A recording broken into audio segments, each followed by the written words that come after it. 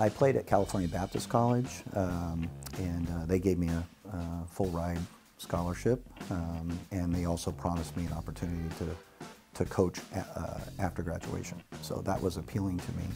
I got my first opportunity in Division One at Dartmouth College, and coaching in the Ivy League, and stayed there for, for 11 years. I stayed there a long time, and led me to Sanford, led me to Coach Beilein, uh, who's one of the more prominent coaches in the United States. Uh, when uh, he hired me at West Virginia, and we were in the Big East, and we had a lot of good teams and a style that was appealing uh, to a lot of people. That was a wonderful opportunity, and then it also led me to Creighton and uh, Dana Altman, who's now at Oregon, doing phenomenally well. So those are two of my mentors that are most notable, uh, John Beilein and Dana Altman, that uh, enabled me to get a chance at Williams as a head coach, and our program was uh, very successful because we had a lot of good players.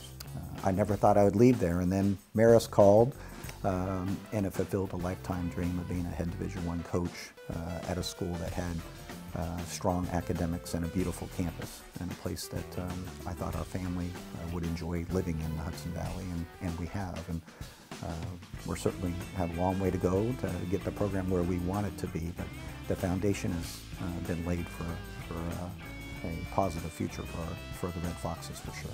I think I'm passionate. I think I'm um, a relationship coach. I really enjoy having uh, close personal relationships with my players. I think I'm demanding without being demeaning. I think I'm creative and innovative. I Try to teach life lessons through basketball experience. Our goal is, is um, to, to, make sure that they, the maturation process happens over a four-year period in a way that is not just uh, athletic focus, but the whole person.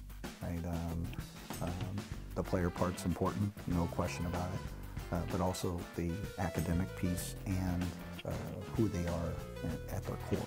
Uh, and I think we're a big part of that process and helping them along with that. Uh, and then there's so many people on our campus and in our community that you've mentioned that are also a part of that process. And of course, everything starts at home.